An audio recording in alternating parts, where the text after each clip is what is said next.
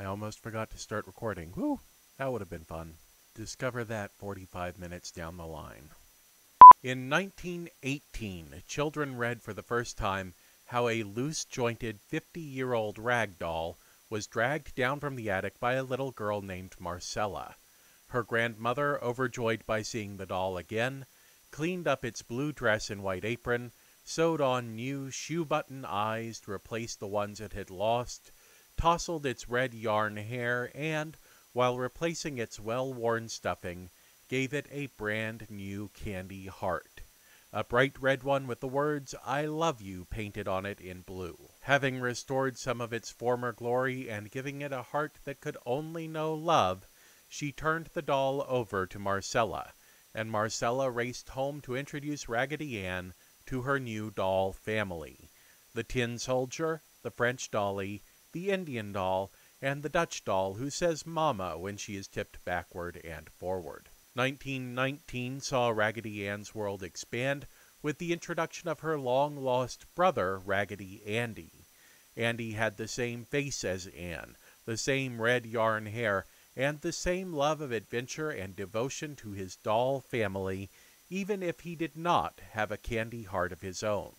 In the course of 51 books and stories published by Ann and Andy's original creator, their little family would gradually fill out little Marcella's room with a veritable toy store's worth of characters.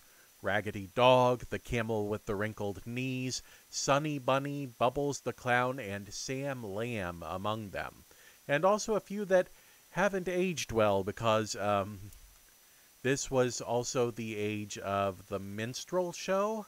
So, yeah.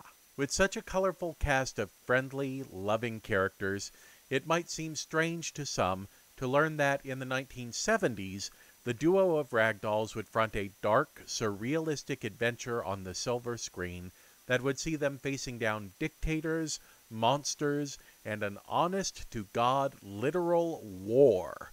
But, as out of character as it might seem at first, it's just another chapter in the life of the rag ragdolly with the candy heart.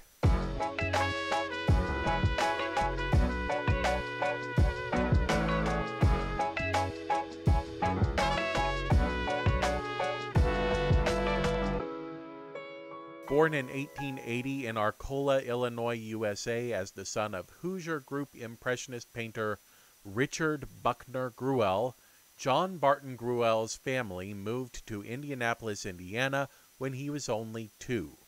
Richard, a former house and sign painter who had taught himself Impressionism and had then become popular and influential in the Hoosier art circles, provided a home for his son Johnny that was always filled with artists and writers. Johnny would grow up surrounded by family friends such as painters William Forsyth and T.C. Steele, as well as poet James Whitcomb Riley, whose poem The Elf Child would later inspire the comic strip character Little Orphan Annie. Johnny would become fascinated with art, and his father would tutor him in drawing while his younger sister Prudence would study music, going on to tour the vaudeville circuit as a singer, and his younger brother Justin would also study art and become a landscape painter and muralist. In 1901, Gruelle, by then already submitting political cartoons and single frame sports comics for the local newspapers at the ripe old age of 19, would marry Myrtle J. Swan. Just a year later, they would have the first of their three children, a daughter named Marcella. The family would move from Indianapolis to Cleveland, Ohio just shortly after, and again in 1910 to the Norwalk, Connecticut area, where Johnny would continue his illustration career while also living on and helping to manage a 16 acre property in Silvermine that his parents had recently acquired. Johnny's artwork would be made in a studio that he shared with his father and brother, and it was during this time period that he would win a New York Herald comic contest, taking both first and second prizes and securing a syndication deal for his own comic strip, Mr. Tweedledee, which would publish in national syndication until 1918. In 1914, his comic strips caught the eyes of children's publishers, and he started receiving commissions to illustrate volumes of fairy tales. In 1915, Gruelle's daughter Marcella passed away suddenly from an infected smallpox vaccination. In the same year, Gruelle would be awarded U.S. patent number D47789, a design pattern for a prototype rag doll. To name the doll, Johnny Gruelle combined two of his family friend James Whitcomb Riley's most famous poems, The Raggedy Man and The Elf Child, which by that point had been republished under the new title Little Orphant Annie, and he came up with Raggedy Ann. Gruelle's family would begin making and selling Raggedy Ann dolls in their home in Norwalk, Connecticut, and he would write and illustrate the first book of Raggedy Ann's stories, naming Ann's owner Marcella. The book would be published by the P.F. Volland Company, who had already been hiring Gruelle to illustrate some of their books from other authors. Before long, P.F. Volland took over responsibility for manufacturing the dolls as well and began to package them with the book, which quickly became a sales phenomenon. Over the course of the rest of his life, Gruelle would keep up a steady pace of artistic work, producing not only the increasingly popular Raggedy Ann and Andy stories, at least one story a year, and frequently an entire book of stories, but also more illustrated volumes of fairy tales, additional non Raggedy Ann books of his own, and cartoon work for national newspapers, including a second syndicated strip, Brutus, which would run until 1938. In 1932, with Brutus already running in syndication and the original Raggedy Ann stories having sold almost 2 million copies, Gruelle and his family moved to Miami, Florida. Shortly after the move, Raggedy Ann's publisher, P.F. Volland, went bankrupt right in the middle of the Great Depression, and another doll company, Mollye's Doll Outfitters, suddenly started to produce unauthorized Raggedy Ann and Andy dolls. The Gruelle family would sue for patent infringement, and the case would drag on for years, with Mollye's founder, Mollye Goldman, showing in her own defense that Gruelle had never patented or trademarked Raggedy Andy, and that she had been awarded a design patent of her own for the male character. The case of Gruelle versus Goldman would initially be decided in favor of Goldman, but Gruelle would ultimately win on appeal in 1937, with Mollye's doll outfitters ordered to immediately cease production of their dolls. In 1938, Gruelle, who had been suffering from a variety of ailments his doctors believed to be caused by extreme levels of stress, died unexpectedly of heart failure at the age of 56. His widow Myrtle would take over the day to day business of the Johnny Gruelle Company, filling in the blanks in their legal rights by filing any and all trademarks and patents that her husband had never taken care of himself, just to avoid any more legal cases like the one he had spent the last few years of his life fighting. The Johnny Gruelle Company would promote Gruelle's extensive body of work and eventually would secure a new home for Raggedy Ann and Andy at the Bobbs Merrill Company. A host of illustrators would list Gruelle as chief among their inspirations for their own work, including Mary Engelbreit and none other than Dr. Seuss. Bobbs-Merrill would ultimately become a part of Simon & Schuster Publishing, who still holds the media trademarks to Raggedy Ann and Andy to this day while Bobbs-Merrill's partner in toy manufacturing, the Knickerbocker Toy Company, would be acquired by Hasbro, who hold the trademarks on Raggedy Ann and Andy dolls. In many ways, Raggedy Ann and Andy are the first true cross media promotional blockbuster and one of the longest lasting. I'll tell you something. I'm getting pretty sick and tired of all the dumb things that go on around here. This is no place for a strong, tough, and terrific boy like myself. The exact inspiration of Raggedy Ann is not known, although there are numerous legends around it. That's in part thanks to Johnny Gruelle himself, who seemed to delight in changing the story behind his decision to write the character throughout his career. One of the most popular stories is that Raggedy Ann herself was created in tribute to Johnny Gruelle's daughter Marcella after her death.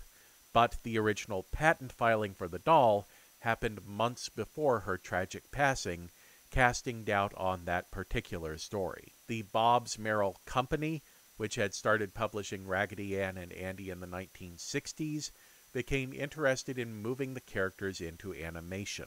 It wouldn't be the first time the character had been used in cartoons, as Raggedy Ann and Andy had appeared in an animated short all the way back in 1941. But the duo had been out of the cartoon industry for a while when Bobbs-Merrill approached Richard Williams about the idea. Today, Williams is popular among animation enthusiasts for his great unfinished work, The Thief and the Cobbler, as well as his pioneering work on Who Framed Roger Rabbit. But at the time, he was already popular in Hollywood with his work on animated title sequences for films like What's New Pussycat, 1967's Casino Royale, and A Funny Thing Happened on the Way to the Forum. He had also started building a legacy in short subjects, including 1971's animated A Christmas Carol, in which Alastair Sim had returned to the role of Ebenezer Scrooge, a short for which Williams would win the Academy Award for Best Animated Short Film. Williams was familiar with the characters and agreed to produce the film with former Warner Brothers, UPA, and MGM animation director Abe Levitow helming the project. The entire package was taken to Universal Pictures, who turned it down. Then it was taken to Warner Brothers, who turned it down. The third time would be a charm when Williams approached 20th Century Fox, who agreed to finance and distribute the film. A script was worked up by writers Max Wilk, who had been kicking around the world of television variety and thriller shows since 1949's The Ford Theater Hour, and Patricia Thackeray, whose only prior produced credit on television was 1969's The Littlest Angel for the Hallmark Hall of Fame. Their script was inspired by Johnny Gruelle's 1924 book Raggedy Ann and Andy and the Camel with the Wrinkled Knees, but with significant liberties taken.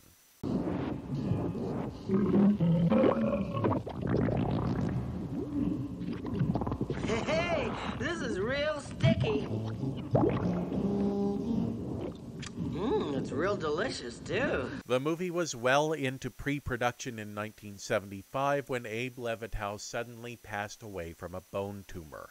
With the director gone, Richard Williams wanted to find a replacement with a similar pedigree from the major animation studios, but the financiers were adamant that they would accept only one possible replacement Richard Williams himself. Williams was reluctantly thrust into the director's chair, and immediately he started voicing concerns about the script. In particular, he was reportedly very concerned about the massive quantity of musical numbers from Sesame Street songwriter Joe Raposo that had been written into the screenplay, fearing that so much time would be spent on the songs that Raggedy Ann and Andy would come across as underdeveloped, underdefined characters. But again, the financiers, who by now included not only 20th Century Fox but also the International Telephone and Telegraph Corporation, flexed their muscles and demanded that the script continue into production without any edits to the scenes or the songs. Character designs were underway and the screenplay was locked. The cast was quickly filled out with popular radio comics and cartoon voice actors, including Arnold Stang, Joe Silver, Marty Brill, and Allen Swift, who you can hear more about in the Film Optimist's Dracula number 11 video, Always Be Plugging. Fox wanted a star for the lead role, however. Raggedy Ann had to be a name with drawing power. Liza Minnelli was considered, but her voice was deemed too aggressive. Goldie Hawn, fresh off of a successful run of movies including There's a Girl in My Soup, Butterflies Are Free, and Shampoo, was reportedly also in the running, as was Tammy Grimes, whose signature raspy voice had long been featured on television guest roles as well as in her own series, The Tammy Grimes Show, which had only lasted for four aired episodes. None of these actresses would wind up taking the starring role. Instead, there was one actress who, in audition, blew the casting team away. She was a young, rising star, still three years away from her breakout role, but once the producers heard the distinctive speaking and singing voice of Didi Conn, there was nobody else they could imagine as Raggedy Ann. My name is Raggedy Ann, and this is my brother, Raggedy Andy. Where am I? You're in the playroom, that's where. You'll probably love it. Oh, la la la la la. What am I doing in such a terrible place? Oh, but you're going to love it here with us. In recording sessions, Richard Williams encouraged the actors to play fast and loose with the script. This would make the task of audio editing harder in the long run, but it gave him more to play with in defining the characters. But perhaps the biggest thing affecting the vocals was a health problem. When she arrived to record her lines and songs as Raggedy Ann, Didi Conn was suffering from a bout of laryngitis that caused her voice to sound rough, whispery, and a little bit pained. It would have been completely understandable to delay her recording sessions, but Williams decided that Conn's unique vocal style, heard through the filter of a case of laryngitis, was exactly what he was looking for, saying that it gave her songs a plaintive quality. Conn would never be happy with her performance of the songs, in particular the song Home, but Williams considered that number to be his favorite song out of the bunch. With vocal tracks and songs laid down, animation began in earnest. There was no centralized animation studio where everybody was working. In the mid 1970s, an era before cellular phones and the internet, the entire animation team was working remotely. Among the team were fresh faced new animators working alongside old hands at the craft like Art Babbitt, who had designed Goofy for Walt Disney, and Grim Natwick, who had created the original Betty Boop design for Fleischer Studios. Also working behind the ink and paint was Tissa David, the Romanian born animator who, while living in France, had become only the second woman in the history of film to direct an animated feature with Bonjour Paris, and whose work as the primary artist for the character of Raggedy Ann would make her the first woman to animate a major film character. In an interview with the New York Times, Tissa David would say about her work on the movie, Perhaps I will prove a point. To create a female character in an animated film, you must think like a woman and feel like a woman. In other words, you must be a woman. Now, get your things, dear. We're going home. Just one moment, you rebel rabble. I am not going anywhere except Paris. Oh, where's the captain? I am the captain now. Well, where's the captain? Captain? The movie was intended for a holiday release in 1976, a grueling but manageable schedule. Fox promoted the movie not just with the standard advertisements, but also with a float in the 1976 Macy's Thanksgiving Day Parade, where professional singers and dancers dressed as the characters from the movie sang the musical number Rag Dolly for the televised broadcast. However, by the time the float was rolling down the street, it was already apparent that the film wasn't going to make its release date. The complexity of the animation was causing the project to drift over budget on both money and time. Not the first such incident in Richard Williams's career, and also not the last.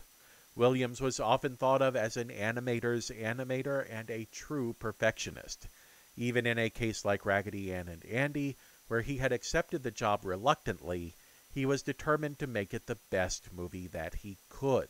Deadlines started to be missed, and the financiers started to worry that the movie was going to take too long to complete. Cuts had to be made, starting with Richard Williams. Williams may still be credited as the director on the film, but the financiers had booted him from production in the final months. The movie was taken out of his hands and re edited with segments that he had thought of as incomplete being used in the final cut.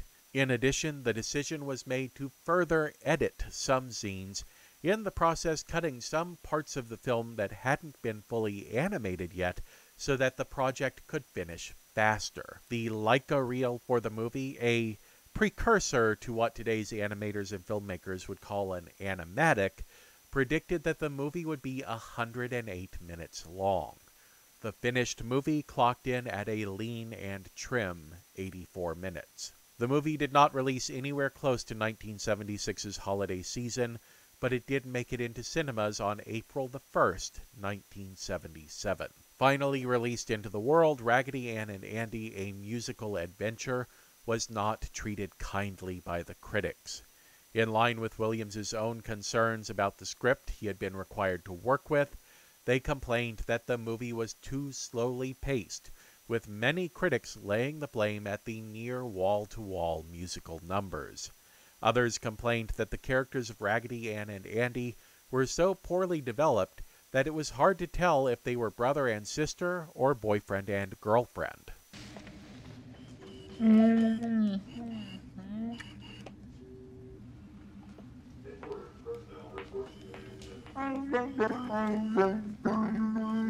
That was actually pretty common for the duo.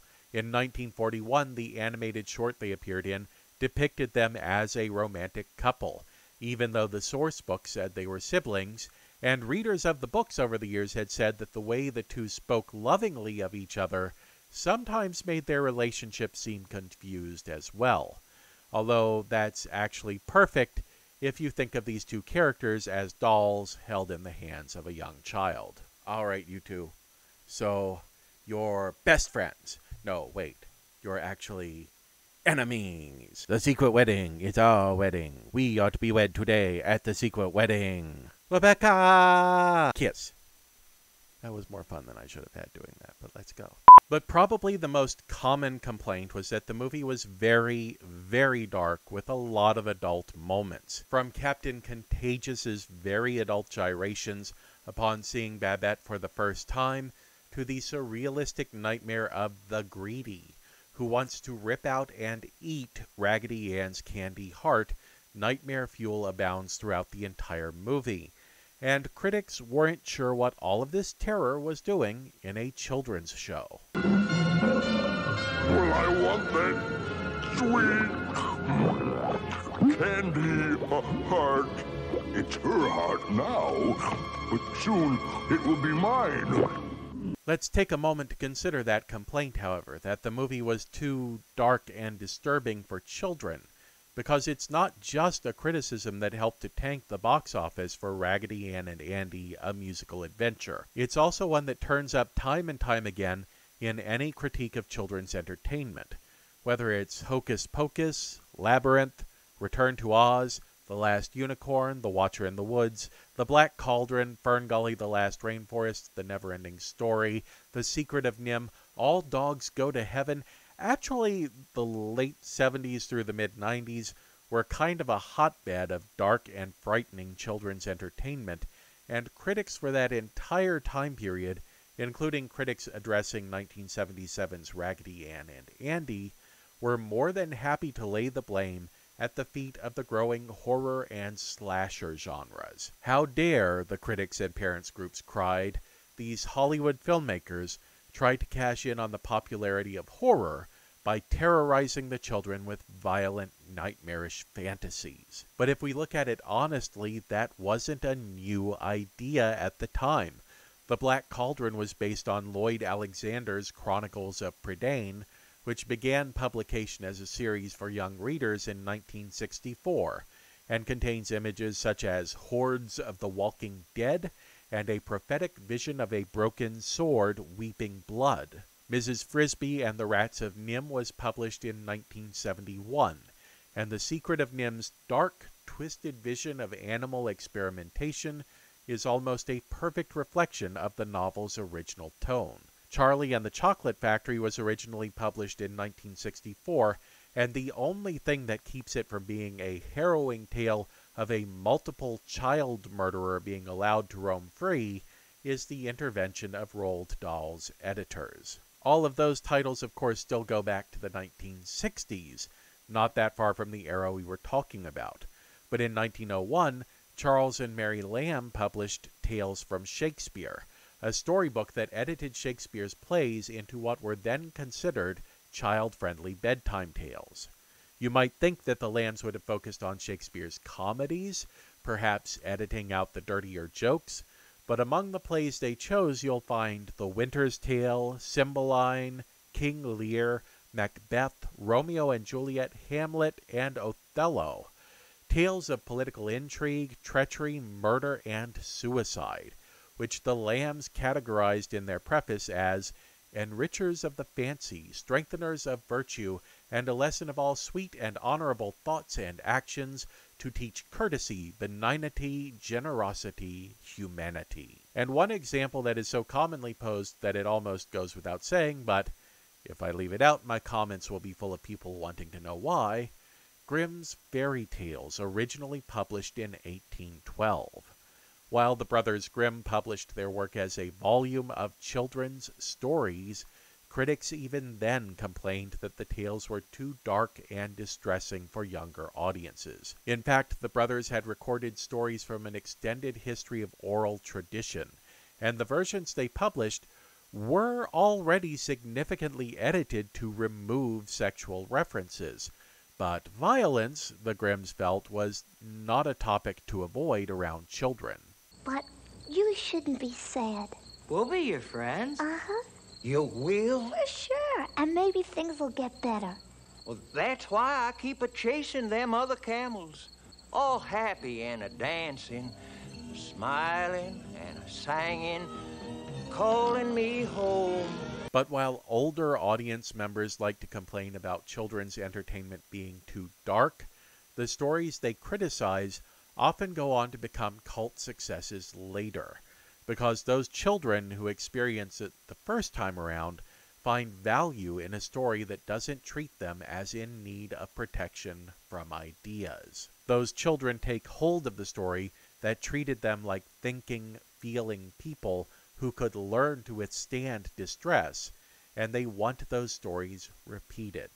They then go on to share it with other children who didn't get to see it the first time, and as they grow to adulthood, these stories become a key part in the narrative of how they became the adult that they are, and many of them then seek to pass those stories along to their own children.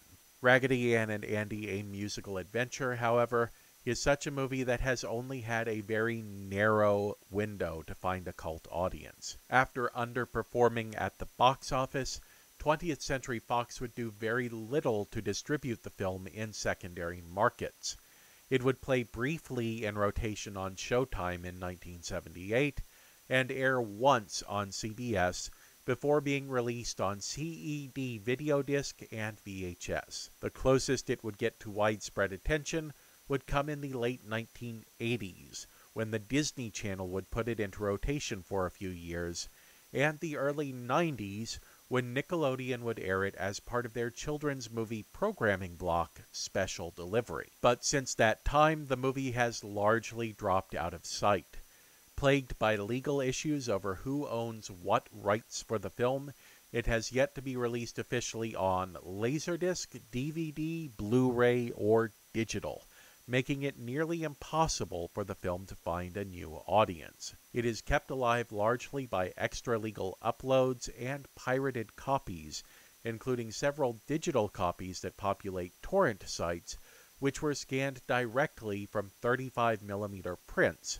And also, it is kept alive by two stage adaptations 1981's Raggedy Ann and Andy adapted for school and community theaters by original writer Patricia Thackeray, and 1984's Ragdolly, also titled simply Raggedy Ann, which was an even darker treatment of the material written by the miracle worker playwright William Gibson with mostly new songs by Joe Raposo. That show would make it to Broadway only briefly in 1986 where the critics would roast it as being inappropriate for children. But in the modern era, that adaptation has captured the imagination of young Broadway fans, who have started an online movement to see the show revived. So, what dark and twisted story did you experience as a child that helped shape you into who you are today? I'm Team The Last Unicorn myself. But drop down into the comments below and let me know. And if you've watched this far into the video, try to work the word camel into your comment somewhere as our secret sign that we're all in the Cool Kids Club together. Until next time, watch like it means something.